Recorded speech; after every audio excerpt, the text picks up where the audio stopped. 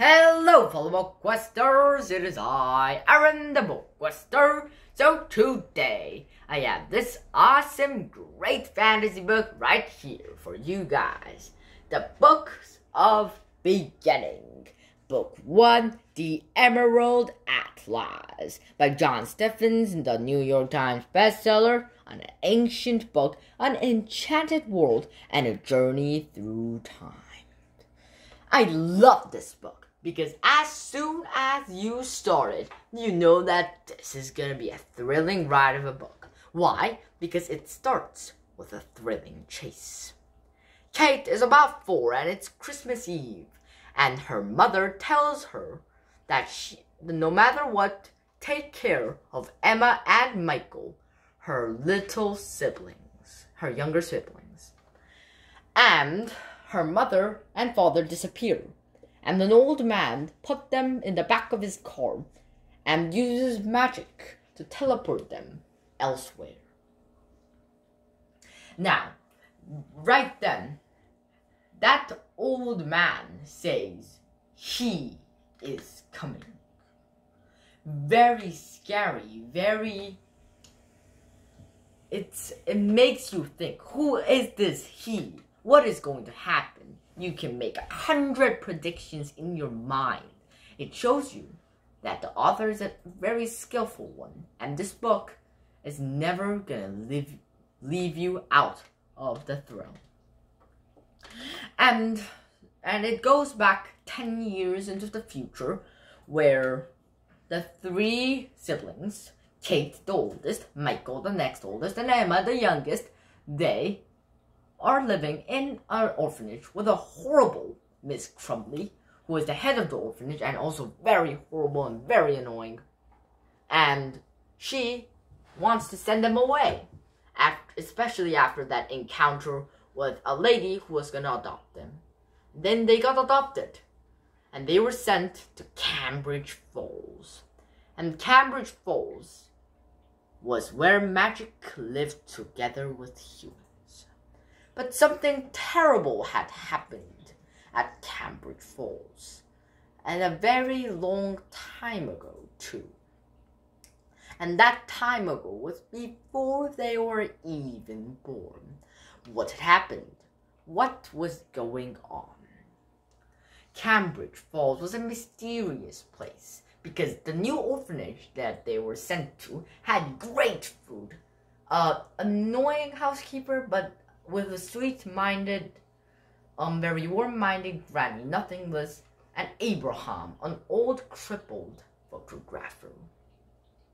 And they say that they are the only ones in the orphanage, and also that it is run by a man named Stanislaus Pym. Very interesting. That's a clue. You need to put it in your pocket. And later on, the kids, they find an enchanted book, the an atlas. And they put the photo into the atlas. And they are transported back into time. Back in time, they meet the Countess, a terrible witch, and the servant of him, of him. Hmm you connect that with the prologue, right? He is coming. He is the servant of him. Interesting, isn't it? The Countess, obviously, is very evil.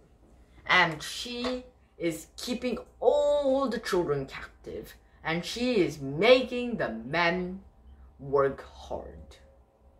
Harder and harder and harder to find something that is hidden. And an abandoned city of dwarves. And in this book, Emma, Kate, and and Michael, they find out that they are the chosen ones. They are the ones who become the keepers of the books of beginning. The three books that all aspects of reality has been stored in. One for time, one for life, one for death and the first the bomo and the book that the atlas contained that is the name of the book or the emerald atlas or the atlas of time it contains time. An atlas, mind you guys, if in case you didn't know, is a book that is of maps, charts, and the atlas is a map of time of all possible past, present, and future webbing through it.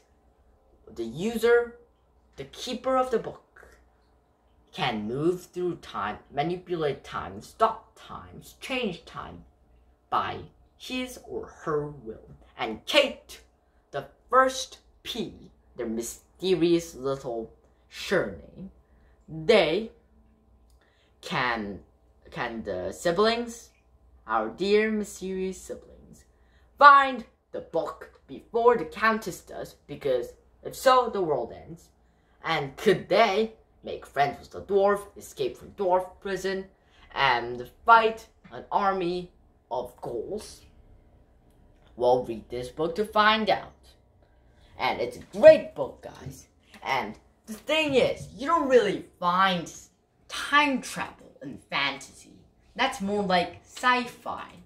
I mean, who hasn't seen time travel in sci-fi? That's impossible. But fantasy was time traveling.